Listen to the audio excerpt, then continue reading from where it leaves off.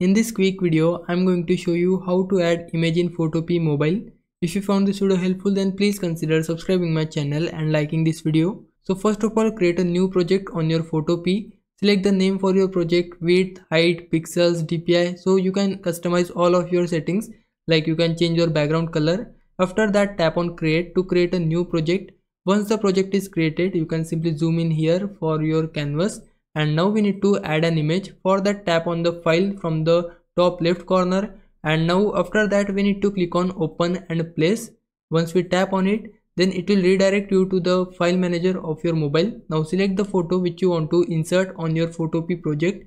So i have this emoji so i just need to select it. If you have multiple images then you can simply select them as well. But i just want to add one image. I have selected it.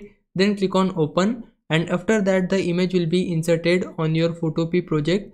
But as you can see i am not able to see my image on my project because that image is under my background layer. So we need to firstly put our layer on the above of our background layer. For that go to the layer section. And here we need to drag our layer onto the top layer. And there you go. We just need to disable our layers panel. And you can see the image here. We can just select our image then enable transform controls from here. And now you can increase the size you can rotate it you can edit on your project using your new image.